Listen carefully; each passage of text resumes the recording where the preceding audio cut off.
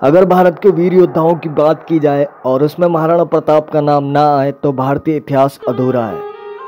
और अगर महाराणा प्रताप की बात हो और उसमें उनके प्रिय घोड़े का नाम ना आए तो महाराणा प्रताप की कहानी अधूरी है। तो आज के इस वीडियो में बात करेंगे महाराणा के प्रिय घोड़े चेतक के कुछ अननोन फैक्ट्स तो वीडियो स्टार्ट करते हैं। महाराणा के समय पश्चिम भारत में घोड़ों की तीन लोकप्रिय नस्लें थी, सिंडी, काठियावाड़ी और मारवाड़ी। चेतक एक मारवाड़ी नस्ल का घोड़ा था। मारवाड़ी नस्ल के घोड़े अपनी सूझबूझ, सुंदरता और युद्ध कौशल के लिए प्रसिद्ध थे। राजपूतों के पास उस समय ऐसे पचास हज़ार काठियावाड़ी घोड़े थे, जिनमें चेतक का आकार 15.2 हाथों की ऊंचाई के बराबर था। अपने आक्रामक और अहंकारी स्वभाव के कारण इतिहासकार इसे अहंकारी घोड़ा भी कहते थे।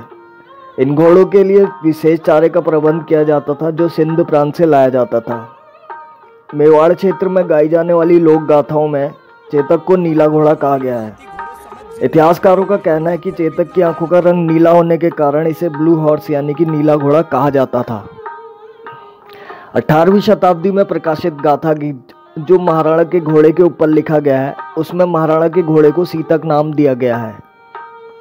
अठारह में प्रकाशित annals and antiquity of Rajasthan नामक पुस्तक में घोड़े का नाम चेटुक रखा गया है। ये पुस्तक मारवाड़ी राजनैतिक जेम्स टॉड द्वारा लिखी गई थी। इसमें चेतक को नीला घोड़ा और प्रताप को नीले घोड़े का सवार कहा गया है। चेतक के दो साथी घोड़े और भी थे, जिनका नाम अटक और नटंक था। और ये तीनों युद्ध में लड़ने के लिए प्रशिक्षित थे। चेतक के वंशज आज भी ज़िंदा है, जिसका नाम पद्मा है। राणा के घोड़े चेतक का मकबरा हल्दी काटी से दो किलोमीटर दूर पश्चिम में स्थित है। यह वही स्थान है जहाँ चेतक की मृत्यु हुई थी। स्मारक के चारों तरफ़ संग्रहालय है, जो इस घोड़े की सच्ची वीरता की कहानी को दर्शाता है। महान कवि श्याम नारायण पांडे, जिन्होंने चेतक की वीरता नामक एक कविता लिखी।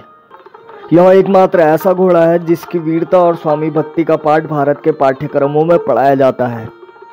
तो ये थे महाराणा प्रताप के प्रिय घोड़े, चेतक से संबंधित कुछ रोचक तथ्य। और वीडियो पसंद आया तो लाइक डिसलाइक शेयर सब्सक्राइब जो मर्ज़ी आए वो कर दो और बाकी तो आपको पता ही है।